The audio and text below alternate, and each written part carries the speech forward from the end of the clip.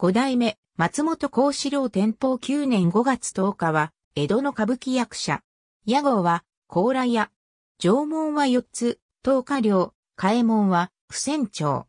背名に、錦ます金賞、金光、画号に、秋夜亭がある。江戸後期の名優で、その主立ちから族に、花高幸四郎と呼ばれた。父は四代目、松本幸四郎。明和七年、市川淳蔵と名乗り、江戸中村座で初舞台。三代目、市川駒蔵を経て、共和元年11月、父の男女川家十郎改名とともに五代目、松本幸四郎を襲名。天保9年5月、中村座出演中に倒れて死去。はじめ立ち役を演じていたが実悪に転じた。鋭い目つきと高い花が凄みを与え、東州祭写楽、初代歌川報告、三代目、歌川報告の芝居絵にもその芸風が伺われる。実悪では三と随一、古今無類と最大級の賛辞を受けた。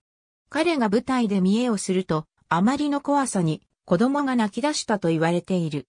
文化2年11月市村座、京成吉野賞では、評判記、役者対局丸に、年若なれども、お江戸の大建物、実事実悪とも剣ビタルを上手込めたにのぼすごとでは、ないわいの、と書かれている。当たり役は、菅原伝授手習い館、寺子屋の松王、金出本中心蔵の小諸直、義経千本桜のゴンタ。特に、キャラ仙台萩の二期団長は、生涯の当たり役となり、今日に至るまで、彼に敬意を表して、二期の左の眉尻にはほくろを描いたり、四つ花火師や三つ、銀杏の文様が、衣装の至るところに散りばめられていたりする。顔のもう一つの特徴だった高い花は、菅原伝授手習い館、車引きの松王が客席ではなく舞台ベタに向かって、横向きに見栄を切るいう独特の型になって、今日に伝わっている。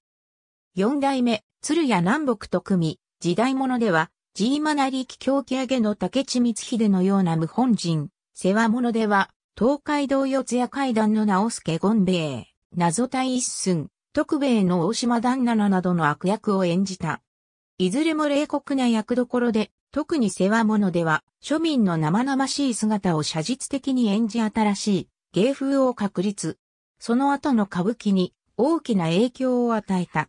小二六代目、松本幸四郎、養子に三代目、市川久美蔵がいる。